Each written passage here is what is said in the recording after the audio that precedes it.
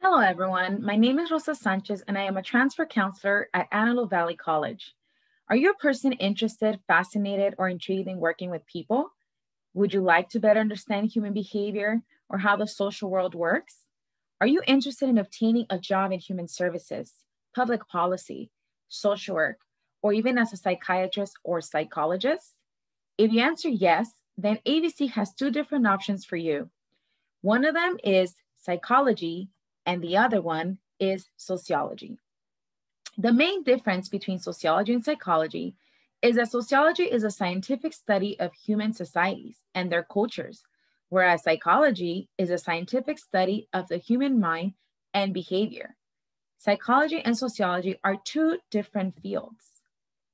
Both majors require that you complete a bachelor's degree at a four-year university, and in some instances, for some jobs, you may be required to complete a master's degree or even a master's doctorate, which is also known as a PhD degree.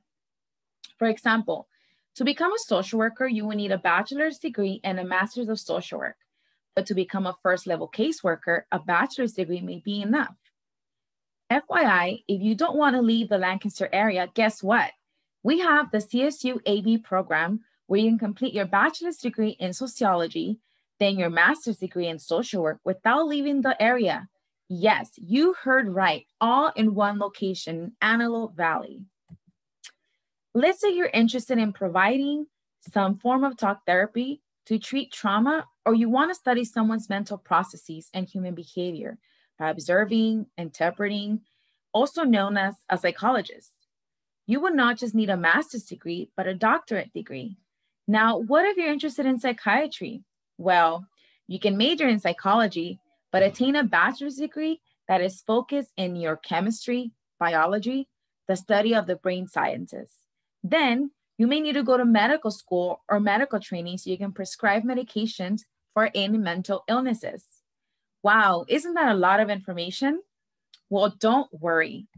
At AVC, counselors are here to help you with your transfer process to ensure you reach your academic goals. To transfer to university in sociology or psychology, you want to complete the associate's degree for transfer, also known as the AAT. The beauty of this degree is you will be completing the major courses that may be required by the university you plan to transfer. Now, remember, there are 23 California state universities and nine UC universities, also known as University of California, and about 100 plus private universities to apply for transfer. Now, what are the ingredients for you to successfully transfer to a university? Hmm. The goal is that you complete your major requirements in either sociology or psychology, complete your general education requirements from the IGETC or CSU GE breadth pattern, complete 60 transferable units, and transfer on. Let's not forget some universities may require that you take specific major requirements. Is this a lot of information? Yes, it is.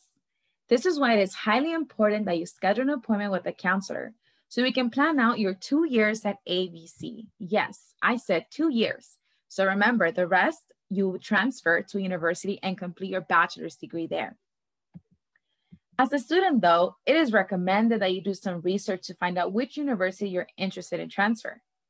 What job occupation would you like to have to find out if you need more of a bachelor's degree or a master's degree or maybe other requirements?